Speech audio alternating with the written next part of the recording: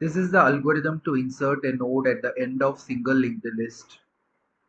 So we are writing a new method inside the linked list class named as insert end which takes a parameter x that need to be inserted into the node. So first we create a node, new node which is named as temp which is having two part data and next. Now the value of x we store into the data part of temp and make the next of temp as null because this is going to be the last node.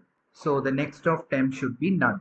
Now we check whether the linked list is already empty by checking the value of begin. If begin is none, that means linked list is currently empty. So if linked list is currently empty, TMP will be the first node of the linked list. Even if it's inserting at the end, it will become the first node. So begin should be assigned with the value of temp.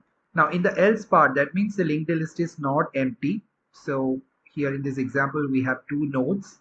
The first node is pointed by begin so in this case, first we need to create a node, the same steps at the initial part. First we create a node which is named as temp and uh, value will get stored into its data part and none will be stored into the next part of TMP, the newly created node. Now we have to join this temp at the end of single linked list. For that purpose, we need to reach to the last node, current last node of the linked list. So we make a pointer to start from the begin first node and use a while loop. When there are further node ptr.next is not equal to null.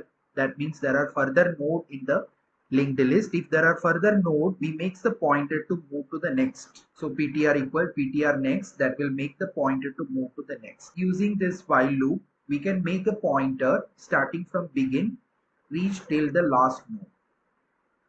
So once we reach to the last node, we can make the connection. From the last node, we need to make the connection to the newly created node, which is temp. So we change the value of next of PTR, which will be assigned with the address of temp.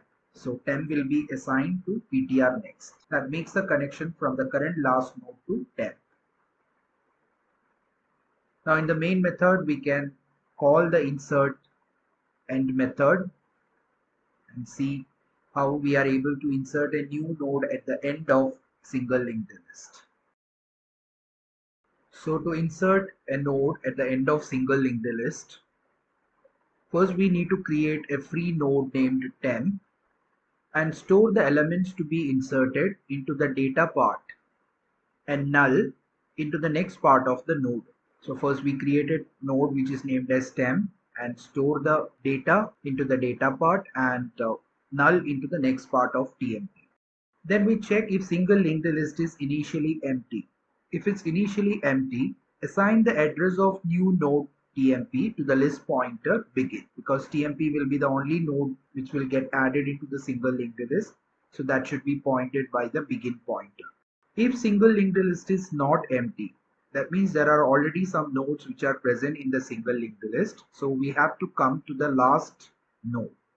For that purpose, we traverse traverse entire linked list from beginning to end until we reach the last node. Once we reach to the last node, assign the address of the new node TMP to the next part of the last node so that it will the temp will get joined at the end of single linked list.